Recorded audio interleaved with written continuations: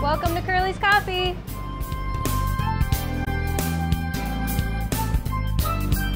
Oh, it's a great cup of coffee. Here at Curly's Coffee and Marina, we not only have a great cup of coffee, but we also have kayaks, we have single and double kayaks, stand-up paddle boards, and we offer fishing charters.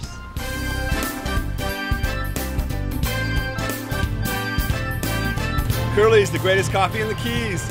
So if you're in Marathon, you want to do some stand-up paddleboarding, some kayaking, maybe take a fishing charter, Curly's Marina is the place to do that.